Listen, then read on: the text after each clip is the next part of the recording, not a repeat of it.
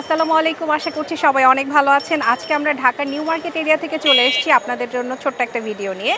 আজকে আমি এই মুহূর্তে আছি নিউ মার্কেট এরিয়াতে বনলতা মার্কেটের পাঁচ নাম্বার গেটের কাছে। পাঁচ নাম্বার গেটের ঠিক কাছেই একটা দোকান আছে যেখানে কলিজা, সিঙ্গারা, কলিজা, সমুচা কিমাপুরি এগুলো বিক্রি করেন। ওনাদের দোকানের এখনও পর্যন্ত কোনো নাম নেই। নাম না থাকলেও ওনার দোকানের ভিড় দেখে বা খাবার দেখে মনে হচ্ছে যে বেশ মজা হবে।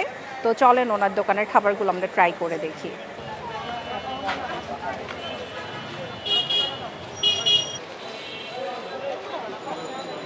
এখানে চারটা আইটেম সেল হয়। আমি চারটা আইটেমই একটা করে নিয়ে নিলাম। আর দেখেন ওনারা কি সুন্দর কাগজের প্যাকেটে করেই দিচ্ছেন। কাগজের প্যাকেটে দেওয়ার একটা সুবিধা হলো, আপনি যদি চান এখানে দাঁড়িয়ে খেতে পারেন, আবার না চাইলে আপনি নিয়ে চলে যেতে পারেন। প্লেটের কোনো ব্যবস্থা নেই।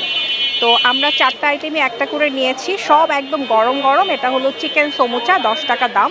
একটু ট্রাই করে দেখি। এই যে সাইজটা দেখেন, এরকম। পিঠার মতো। বিসমিল্লাহ।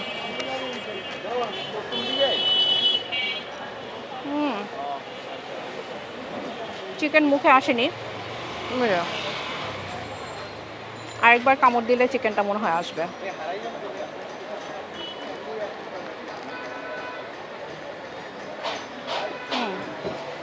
চিকেন পেঁয়াজ দিয়ে হালকা মশলা দিয়ে রান্না করা। সমুচাটা অনেক খাস্তা মানে অনেক মচমচে টাইপের। আর ভিতরের পুরটা যেহেতু হালকা মশলা করা এই জন্য খেতে বেশ ভালো লাগছে।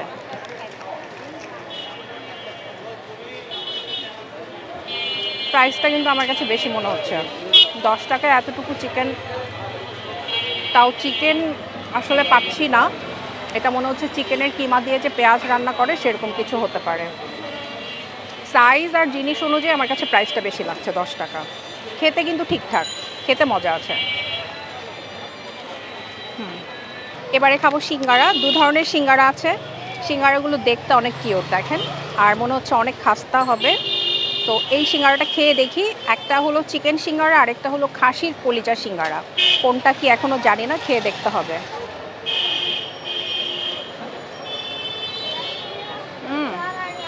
অনেক গরম। এখনও বোঝা যাচ্ছে না। সিঙ্গারার এই পোর্শনটা অনেক মোটা মানে ময়দার যে পোর্শনটা থাকে সেটা অনেক মোটা।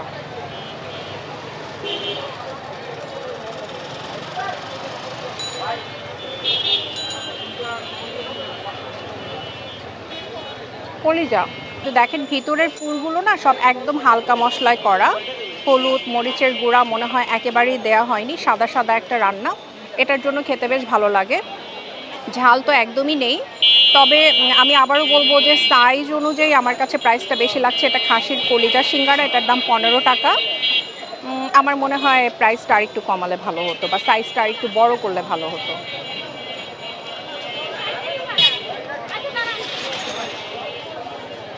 পুর খুবই কম। ময়দার যে পোর্শনটা ওটাই বেশি মোটা। যতটুকু খাচ্ছি মজা, বাট সব কিছু মিলিয়ে আমার কাছে মনে হয়েছে প্রাইসটা একটু কমালে ভালো হয়।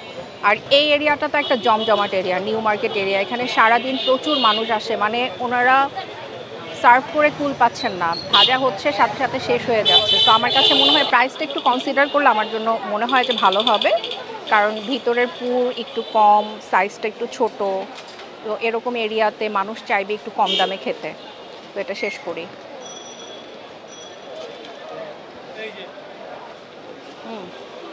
এখন খাচ্ছি গরুর কিমা পুরি। পুরীর সাইজ দেখেন।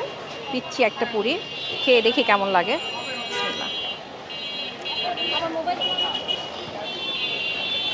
হুম। সেম জিনিস, দেখেন, ময়দার পোষণটা অনেক মোটা। আমি যখন কামড় দিলাম, তখন মুখে শুধুমাত্র ময়দার যে অংশটা, সেটাই ফিল করতে পারলাম। কিমা এখন দেখি। হুম।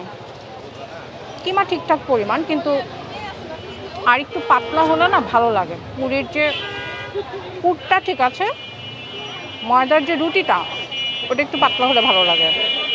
এটা অতিরিক্ত মোটা। আপনারা বুঝতে পারছেন কি না জানি না। অতিরিক্ত মোটা। এটার দামও কিন্তু পনেরো টাকা। হ্যাঁ দাম বেশি।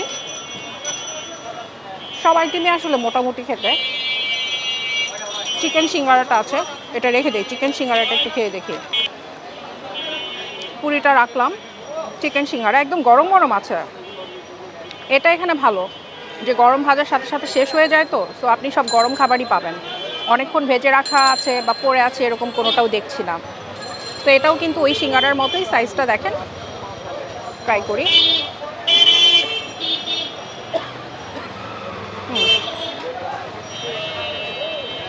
এটার ময়দার পোষণটা পাতলা। পুরটা অনেক বেশি। ভিতরে দেখা যাচ্ছে কিনা জানি না, তবে এটা চিকেন সিঙ্গারা হলেও আলু বেশ মুখের মধ্যে লাগছে। আরেকবার খেয়ে দেখি। চিকেনের সাথে আলু দেয়া আছে।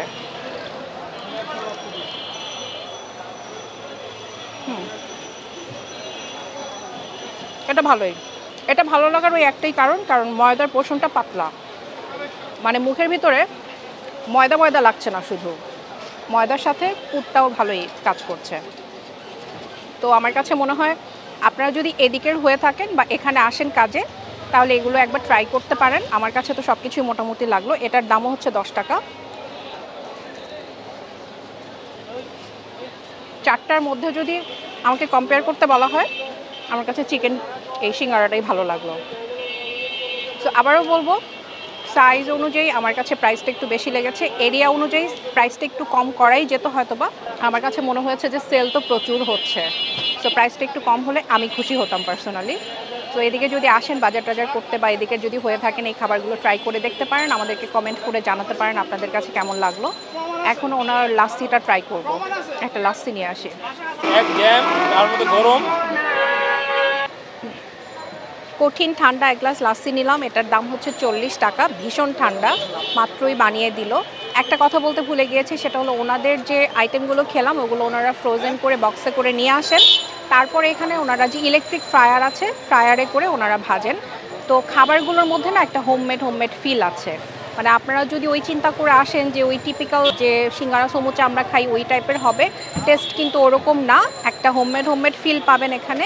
আর আমার কাছে মনে হয়েছে যেহেতু ওনারা ফ্রায়ারে ফ্রাই করছেন, তো হাইজিনের দিক থেকে আমার মনে হয় চিন্তা করলে যে তেলটা ওনারা ভালো তেলই দিচ্ছেন এবং খেতে গেলেও কিন্তু বোঝা যায়। একটা ফ্রেশ ভাব আছে। মানে পুরনো তেলে ফ্রাই করলে যে একটা অন্যরকম বোঝা যায়। আমরা তো খাই, তাই না? সবাই তো আমরা খাই। সো ওই জিনিসটা এখানে পাবেন না। এদিক থেকে আমার কাছে ভালো মনে হয়েছে। তারপরে আমি চিন্তা করে দেখলাম যে জন্য হয়তো উনি একটু প্রাইসটা বেশি রাখছেন। উনি তো আসলে চাইবেন না প্রাইস বেশি রেখে বিজনেসটাকে খারাপ করতে। তো আমার কাছে মনে হয়েছে এরকমটা। আর এই লাস্সিটা নিলাম, প্রচণ্ড ঠান্ডা। আমি এখন একটু ট্রাই করি। হুম। খুবই রিফ্রেশিং সল্টি সল্টি একটা টেস্ট আছে যেটা আমার কাছে পার্সোনালি ভালো লাগে যে একটু মিষ্টির মধ্যে একটু সল্ট সল্ট ভাব থাকে টেস্ট থাকে। সো রেসিপিটা তো আমি দেখে নিয়েছি। আমি এটা বাসায় গিয়ে বানিয়ে খাব। খুবই ভালো লাগল। এটা বেস্ট আপনারা এদিকটায় আসলেন, বাজার করতে করতে ঘেমে নিয়ে একদম শেষ। অনেকেই মাসের বাজার করতে এদিকে আসেন, আমাদের বাসা থেকেও আসে এদিকে মাসের বাজার করতে। সো আপনারা কিন্তু এখানে আসলে এই চল্লিশ টাকায় এক গ্লাস রিফ্রেশিং লাস্সিটা খেয়ে যেতে পারেন। এটা খুবই মজা লাগল, খুবই ভালো লাগল। হুম। এইদিকে আসলে আমি অন্য কিছু না খেলেও এটা খাওয়ার জন্য এখানে আসব। আমার কাছে ভালো লেগেছে, আমার টেস্ট বারে ভালো লেগেছে। এই দোকানটা আপনারা খোলা পাবেন বিকাল চারটা থেকে রাত দশটা পর্যন্ত, এর মধ্যে যদি আসেন তাহলে খাবার পাবেন। ছোট্ট একটা ভিডিও আপনাদের সাথে শেয়ার করে ফেললাম। যদি ভিডিওটা ভালো লাগে লাইক শেয়ার কমেন্ট করতে ভুলবেন না। আমাদেরকে কমেন্ট করে জানাবেন এই খাবারগুলো আপনাদের কাছে কেমন লেগেছে যদি খেয়ে থাকেন। আর সবাই অনেক ভালো থাকবেন সামনের ভিডিও পর্যন্ত। আল্লাহ হাফেজ।